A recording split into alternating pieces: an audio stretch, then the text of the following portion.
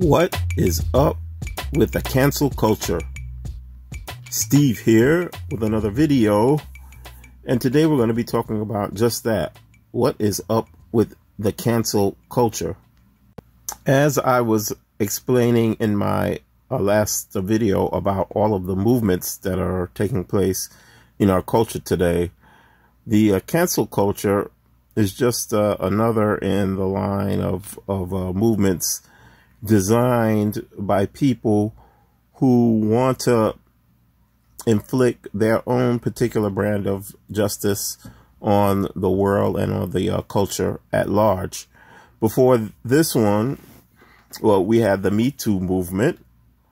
And like I said before, all of these movements usually, or at least sometimes, start out with good intentions, but inevitably they are used against a certain segment of the population to basically hinder free speech and basically to uh, oppress people with a false sense of justice towards them.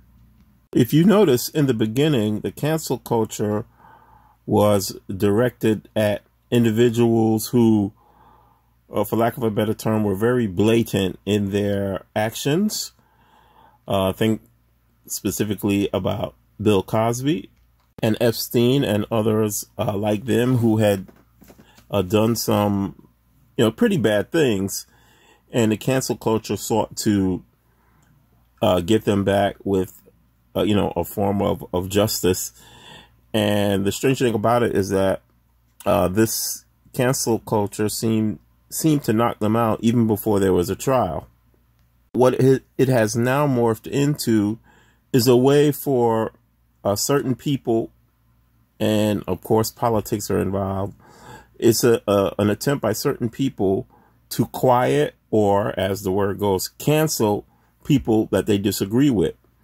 And what usually happens is is that they will go back into a person's past, maybe 20, 30, 40, even longer, to find something that this person did that either they don't agree with or, you know, something that perhaps was wrong back then, but they will now use it to basically cancel the person. And by cancel, I mean make them lose their job, make them suffer in some kind of way.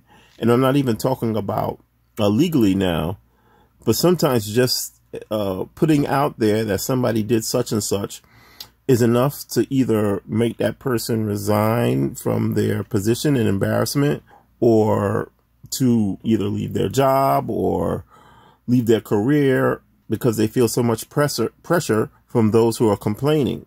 And it's one of the ills, I think, of social media that people, sometimes even a small percentage of people, are able to express their displeasure and then have so much influence in the culture or in business or even in politics.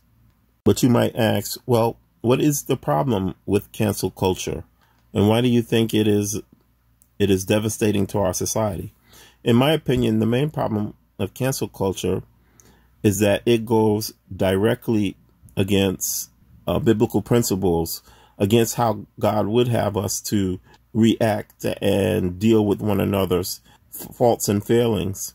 You see, my friends, the Bible recognizes that we are all human and that we are all subject to failure. We are all subject to sin. We are all subject to making mistakes. See, when we have to look into a person's past and try to cancel them, that is directly opposed to how Christ dealt with us. Did not Christ say, Let he who is without sin cast the first stone? If you're perfect, this doesn't apply to you. But I don't think there are any perfect people in the world, which means, my friends, is that everyone has done something wrong. Everyone has done something that they would rather people not know about. You and I have done things that, if brought into the light, we would be devastated. So, for people to try to dig up stuff from a person's past and use that against him is neglect, neglecting the fact that even God gives us grace. Even God gives us forgiveness. And even God gives us a chance to right the wrong or to ask for forgiveness, to ask for repentance, and to make the wrong right. And now I'm not talking about something serious like murder or rape or any other, you know, heavy duty crime, but I'm talking about things that people say that they might not really mean, or maybe they do mean it, yet they realize the errors of what they said and have changed, made amends, have turned their lives around and become model citizens, model individuals, people to be looked up to and people to be emulated. So the cancel culture seeks to put uh, man's wisdom and man's judgment, judgment and justice above that which belongs only to God. And God gives us grace, God gives us forgiveness, and God gives us reconciliation. I don't see any reconciliation with the cancel culture. I don't see the cancel culture looking at the totality of people's lives and saying, well, you know, the good that he or she did far, outweighs this mistake that they made. So this cancel culture is only detrimental to what is good for the culture. Should we ignore the wrong that people do? No, I don't think so. But we should be able to respond with forgiveness and grace and even to just sit down and talk to a person and find out why he or she did that and how they feel about it and so forth and so on and give them every opportunity to right that wrong. So thank you for listening. That's my take on this cancel culture. I have a lot more to say, and I'll probably say it in, a, in another video as we try to fight through and understand all of these different movements that are affecting us in our culture today. Thank you for listening to CSC. We appreciate your support. We appreciate every second that you listen to us.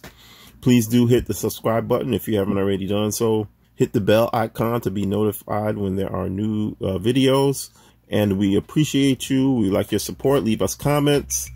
Let us know if you have any questions. Let us know if there's any topic you want us to cover.